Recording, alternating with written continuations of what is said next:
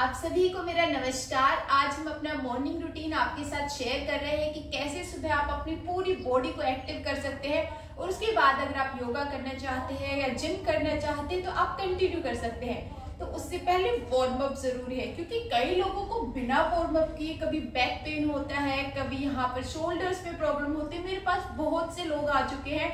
ये कहते हुए कि मुझे वार्म अप नहीं किया, यहाँ पे चोट लगे, यहाँ पे बैक पेन है, अब हम क्या करें, इसको कैसे ठीक करें? तब क्यों नहीं वार्म अप किया? तो वार्म अप बहुत ज़्यादा ज़रूरी है। तो सबसे पहले सीधे खड़े हो जाइए। अब हम गर्दन को आगे और पीछे की तरफ़ करते हैं। आपको सांस भरते हुए पीछे जाना है। और सांस छोड़ते हुए आगे। सांस भरते हुए पीछे जाइए। सांस छोड़ते हुए आगे आइए। पाँच बार करना है।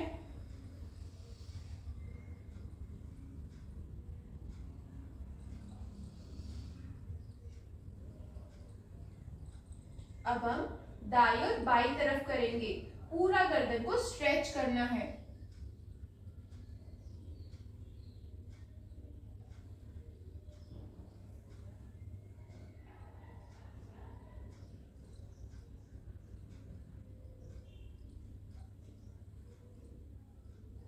अब हम गर्दन को क्लॉकवाइज रोटेट करेंगे। जब हम यहाँ से शुरू करेंगे तो सांस भरेंगे और यहाँ पर सांस छोड़ेंगे। और फिर से सांस भरेंगे।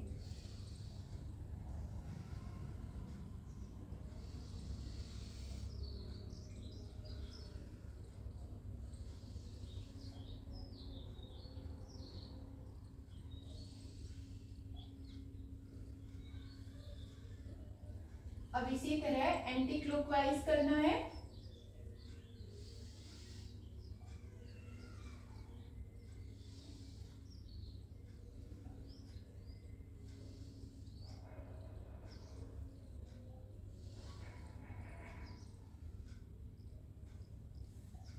रिलैक्स हमने गर्दन की अपनी पूरा वार्म अप तो कर लिया, लेकिन अब गर्दन को हल्का सा स्ट्रेच भी कर लेते हैं, ताकि जब हम कोई भी एक्सरसाइज करें तो हमारी गर्दन में ज़्यादा खिंचाव ना आए। तो गर्दन पे हाथ लगा के साइड में पूरा स्ट्रेच करना है अच्छे से। दोनों तरफ़ दो दो बार। ये हमारी गर्दन का वार्म अप हो गया। अब हम आते अपने कंधों पर।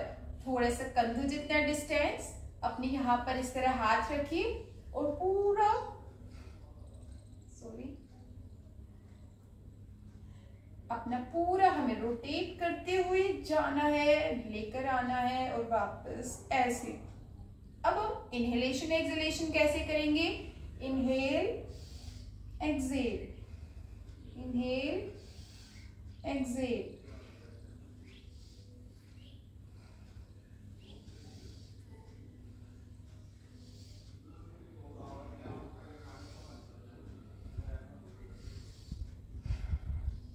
अब आगे की तरफ़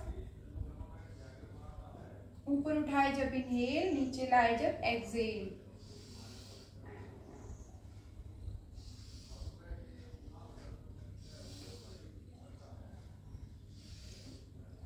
तो दोनों तरफ़ आपको ये दस दस बार करना है।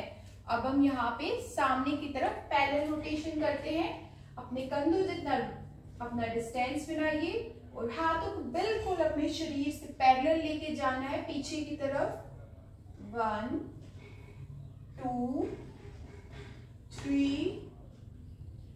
four five six seven eight nine ten relax थोड़ी सी हाथों में टैपिंग कीजिए अगर आपको नमनेस फील हो रही है टैपिंग कीजिए। हाँ एक और ऐसे ही खड़े रहिए। और यहाँ पे हाथ लगा के पूरा हाथ पीछ, जितना पीछे ट्विस्ट कर सकते हैं, उतना पीछे ट्विस्ट करना है। आपके पैर जहाँ पे है, वहीं पे रहेंगे। और पूरा पीछे की तरफ़ ट्विस्ट कीजिए। कम से कम इसको दस बार कीजिए। आपकी पूरी बॉडी आपका बेली आपकी लोअर लेग सब कुछ एक्टिव हो जाएगा। बहुत ही अच्छी वार्म अप एक्सरसाइज है। रिलैक्स रिलैक्स हम अपनी यहाँ पे कंधों की भी कर ली। अब हम थोड़ी सी साइड बेंड्स करेंगे। दोनों पैरों को खोलिए।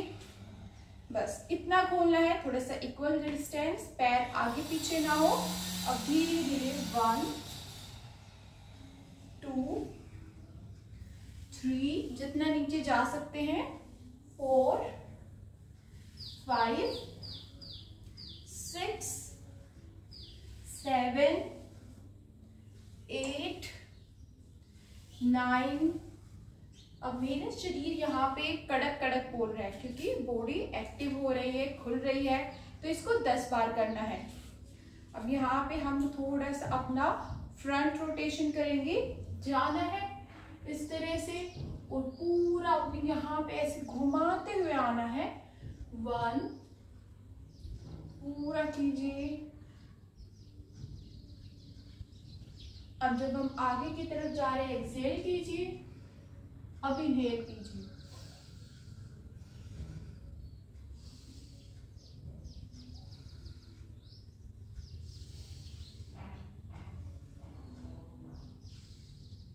इस तरह से आपको करना है। अब हम दूसरी तरफ़ भी करेंगे।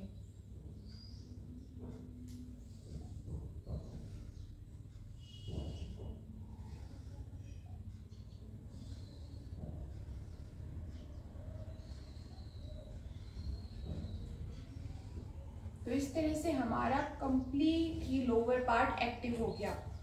अब हमने यहाँ पे थोड़ी सी अपने पैरों की स्ट्रेचिंग करनी है, पहले आगे की तरफ़। फिर पीछे की तरफ़, फिर आगे की तरफ़, फिर पीछे की तरफ़, फिर रोटेट कीजिए क्लॉकवाइज पूरा सर्कल में। फिर anti clockwise five times clockwise five times anti clockwise फिर दूसरा पैर पूरा खींचिए आगे की तरफ़। अब अपनी तरफ़, अब आगे की तरफ़, अब अपनी तरफ़। रोटेट कीजिए सर्कल में फाइव टाइम्स एंटी क्लॉकवाइज तो ये हमने पैरों के भी यहाँ पे एक्टिव कर लिए, हमने, अब हम थोड़ी सी यहाँ पे वार्म अप को बढ़ाएँगे। अब हम स्लो जंप करेंगे।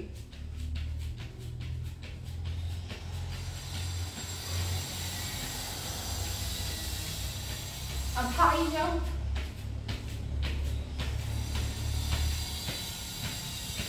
अब यहीं से जंपिंग जैक्स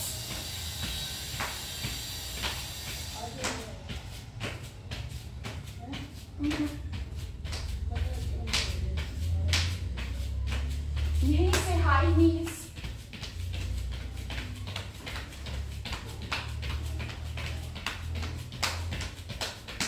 अब यहीं से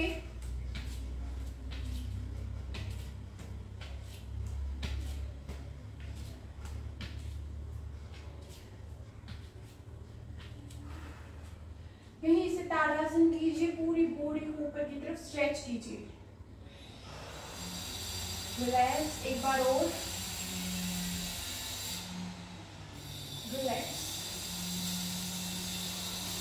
तो ये सब करने के बाद आपकी पूरी बॉडी कंप्लीट वार्म अप हो जाएगी। इसके बाद आप अपनी योगा या फिर आप अपनी जिम वर्कआउट स्टार्ट कर सकते हैं। नमस्कार।